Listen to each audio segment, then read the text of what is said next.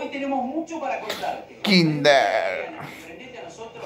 prendete Sí, a nosotros. pues,